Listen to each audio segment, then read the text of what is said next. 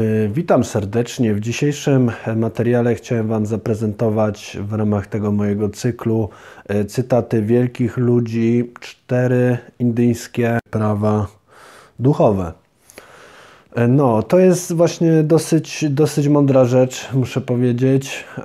Tak przypadkowo na to trafiłem. Na pewno mogą przemawiać do wyobraźni i można to z różnymi rzeczami ze swojego życia zestawić. Na przykład to, że e, wszystko, co się wydarzyło, musi się wydarzyć dokładnie w taki sposób, jaki się wydarza, czyli nie ma sensu czegoś żałować, bo musieliśmy przejść daną drogę, żeby dojść do pewnego punktu i wyciągnąć jakieś wnioski na przykład. Albo na przykład taka sytuacja, że ja sobie kupiłem e, mikrofon, taki za dość dużo pieniędzy, żeby nagrywać fajnym głosem. I kupiłem sobie też boje na przykład właśnie do nagrywania dźwięku, taki krawatowy tańszy. No i nagrywając na przykład te materiały, wychodzi na to, że jednak lepiej mi to robić boją z przyczyn technicznych, a poza tym jakościowo i tak jest tutaj fajnie, więc jestem trochę wkurzony, że kupiłem drogi mikrofon, ale z drugiej strony właśnie mogę sobie to tak wytłumaczyć, że po prostu tak musiało być, bo to jest w ogóle takie gdybanie, tak? Jak ja, ja bym sobie na przykład tego y, nie kupił, mikrofonu, to może bym używał tej boi i bym sobie wyobrażał, że ten mikrofon będzie o niebo w ogóle lepszy i miałbym lepszą jakość dźwięku i miałbym niedosyt, tak? A teraz już wiem, jaki on daje dźwięk i wiem, że ta boja jest w miarę spoko. Także no można to różnie interpretować. E, przeczytam, przeczytam te cztery indyjskie prawa duchowe. Pierwsze prawo mówi, Osoba, którą spotykasz w życiu, jest osobą właściwą, to znaczy nikt nie wchodzi w nasze życie przypadkowo. Wszyscy ludzie, którzy nas otaczają, z którymi łączy nas jakaś historia, coś sobą reprezentują. Albo żeby nas czegoś nauczyć, albo żeby nas poprowadzić dalej w naszej sytuacji. Drugie prawo mówi, to, co się wydarza, jest jedyną rzeczą, jaka mogła się wydarzyć. Nic, absolutnie nic z tego, co nam się przytrafia, nie mogło wydarzyć się inaczej. Dotyczy to nawet najdrobniejszych szczegółów.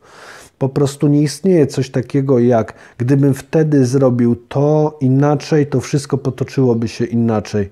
Nie, bo to wszystko. To, co się wydarzyło, jest jedyną rzeczą, jaka mogła i musiała się wydarzyć, abyśmy nauczyli się lekcji, która, e, które pozwolą nam iść dalej.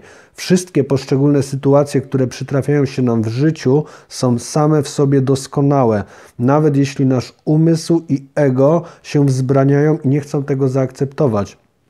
Trzecie prawo mówi: Każda chwila, w której coś się rozpoczyna, jest chwilą właściwą. E, Wszystko rozpoczyna się we właściwym momencie, ani za wcześnie, ani za późno.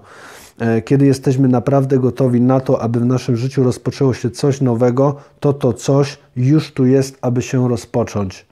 Czwarte prawo mówi: Co się zakończyło, to się zakończyło. To takie proste. Kiedy coś w naszym życiu się kończy, to służy to naszemu rozwojowi. Dlatego lepiej jest puścić i iść dalej, e, niosąc ze sobą dary przeżytych doświadczeń.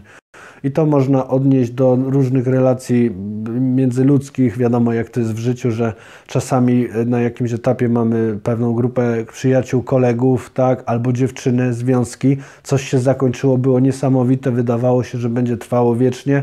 Nagle tak nie jest. No i co, teraz odgrzybywać jakby tamte rany, czy po prostu, nie wiem, dążyć znowu do, do, do tego, bo kiedyś było świetnie. Nie, to było świetne na tamtym etapie czasu, prawda? Więc to też można sobie w różny sposób zinterpretować.